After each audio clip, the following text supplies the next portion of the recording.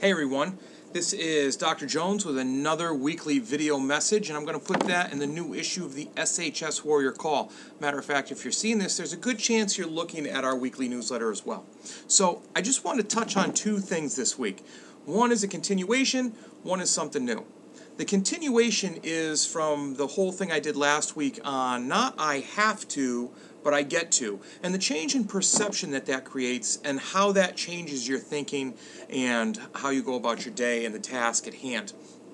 I got such a great, positive, tons of comments on that and people chiming in on things that they look used to look at as I have to, but noticed it would change if they said I get to, and some questions asking me about really um, when you comment that much because of the blog post I did, when you comment that much about how happy you are to be a principal and how lucky you feel you are to be a principal, but doesn't that come with some work during the day, paperwork, headaches, things like that? So, what I thought I'd do today for the first part of this, and I'm moving quick so I don't take up too much time, I want to talk a little bit about my day today. So, yeah, I get to, check this out, I get to work with colleagues who truly care, who are truly dedicated to making students the best possible students and people they can be so they can be as successful as they can be. An example, you say? I sat in a meeting this morning, and I usually don't like meetings, but this meeting turned into a discussion about how we best support all students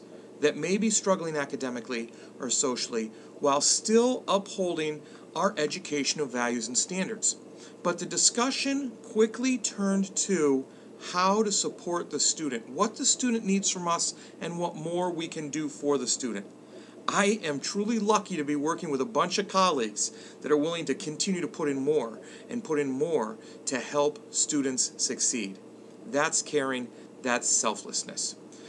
Also, I get to, I then go into some classrooms and I see students. I get to be around high school students. I said that right. I get to be around high school students during the course of the day High school students are awesome. Great age, they're figuring things out. Sometimes they think they have everything figured out, but either way, they're learning all the time and they're pushing boundaries, they're pushing themselves. I got to go into a class and watch a group of students reenact the Congress of Vienna.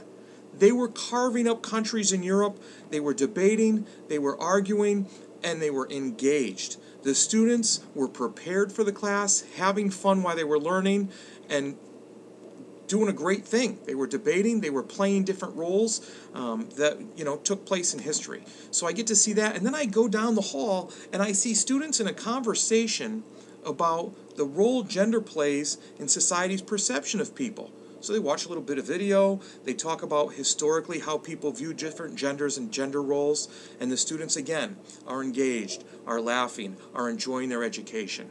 And then I come back down to my office, pick up a phone call from a parent, and in the course of this conversation with this parent, I had to stop and think how lucky we are to have so many parents that truly are interested in what's best for their student. And even better, they're not always interested in just what's best for their student, but they do take into account the bigger picture that there are a lot more students involved when you're talking about a high school. So they're invested, they're engaged. Notice a pattern with a word yet? In how their students are doing and what the school is doing for their students. It's about engagement. It's about really giving back. So that's the first part. So when you when you think you have to, and you question if I really am that happy and that grateful to be a principal, that's just a little bit of a taste of it, uh, of what I do during the day and some of the great things that happen. The next thing I want to talk about really quick, I want to challenge everybody because it is about giving back. It's about letting people know what you think of them and how well they're doing. I want you to take some pennies, five. Usually you want to do 10. I've heard I read about this and I heard somebody talk about it.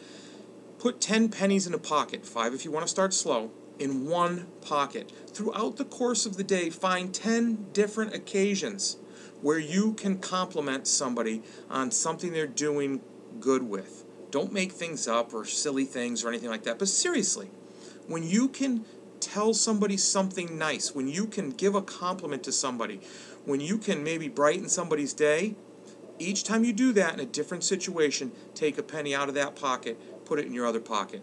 You got it. You're going to try and do it 10 times a day. If you want, start with five. Now, people that do this, come see me after you're able to do that maybe two, three days in a row where you get all the pennies. Not as easy as it sounds. And maybe we can work out something about you being noticed for how well you're doing with noticing other people. Hey, I always appreciate you taking the time to listen um, and read the newsletter. It really means a lot.